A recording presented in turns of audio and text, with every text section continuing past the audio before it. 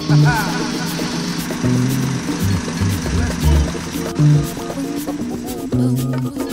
it out. This is Rakaa, also known as Iriscience, representing Dilated Peoples Rock Steady Pool, Universal Zulu Nation.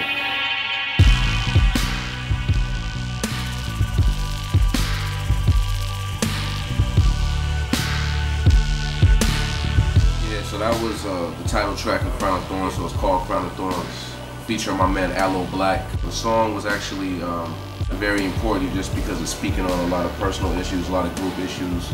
It's answering some of the questions people may have about dilated peoples.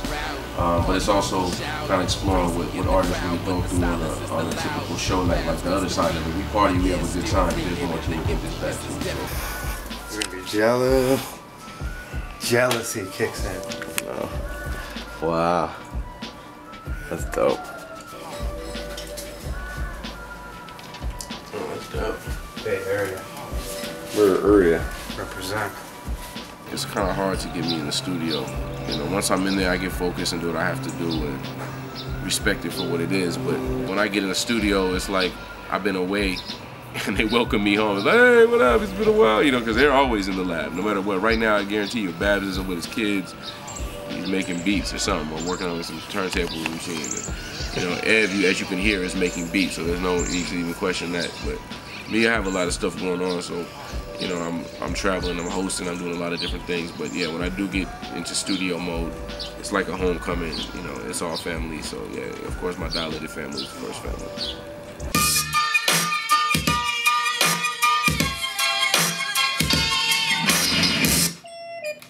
Oh, it was on a funny loop. That was whack. Uh, right there. Sorry about that.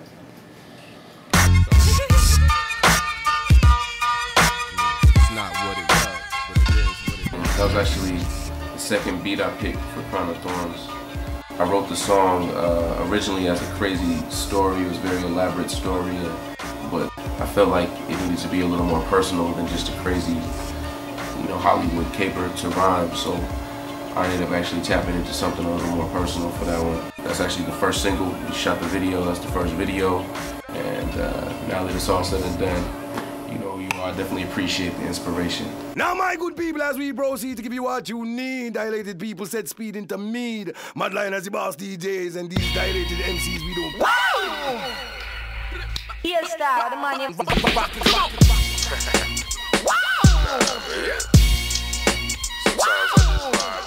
Observatory was actually the last song I recorded for Crown of Thorns. And uh, produced by my man King Jahzzy, PC King Jahzzy. That was actually an interesting song. I had the song already done. I, already, I had already done the chorus and everything. And I was in the studio mixing it down. And Mad Lion happened to be working with uh, our engineer Seasick also. And he heard the song. He's like, I want to jump on that joint. So basically we uh, the night we were mixing the song, actually the last night of mixing and everything, we ended up having we sent all the files to their studio session. He relayed the chorus down and and, and, and blessed me with you know that, that good extra spice and seasoning that I think the song needed. So peace to Mad Lion. That's all. That's all you get. That's a possibility though. It's a possibility. Let's move.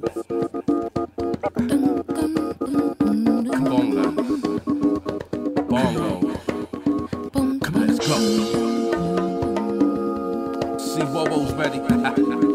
It's uh, Rosetta Stone Groove, Universal Language, and it was produced by Rhettmatic and Bobo. They had a routine already that they had going on that I really liked, and they kind of lent me the routine for my record. And I just really just took something they already had going on and had been rocking live, and you know took a recording of it and added vocals to it. Peace Queen. Peace out, kid. Peace, kid. Peace out, King. Peace, queen. We've been live and direct in full effect, deconstructing my first solo LP on Decon, Crown of Thorns. Peace out, kid.